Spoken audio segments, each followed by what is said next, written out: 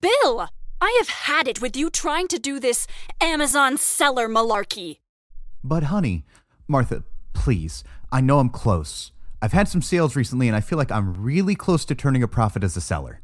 Listen here, Bill. I'm close to drop shipping you out of this marriage. All you do is sit around the house, checking your phone, muttering about your dashboard, whatever that is. That's it.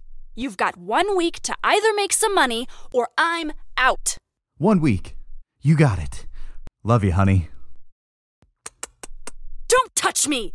Okay, well, I don't want to stop selling on Amazon. Maybe I can just ask my old boss for my job back. Yeah, that's what I'll do. Bill, long time no see.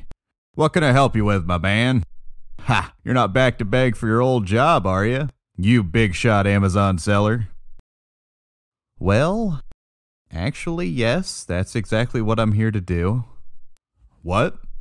The seller thing isn't really going like I'd hoped. I, I mean, I'm still doing it. It's just that it needs time and I need to make some money while it's uh taking its time.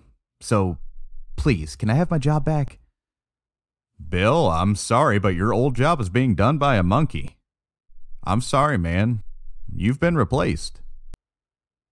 A monkey? Come on, man, quit messing with me. Just give me the job back or tell me to leave. This is just mean. Bill, we literally got a monkey to replace you.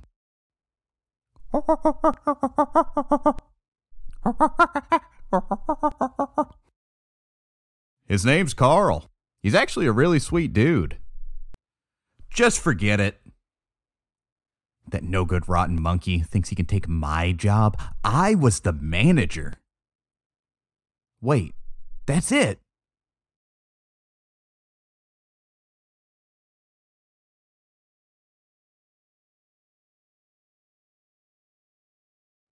Oh no.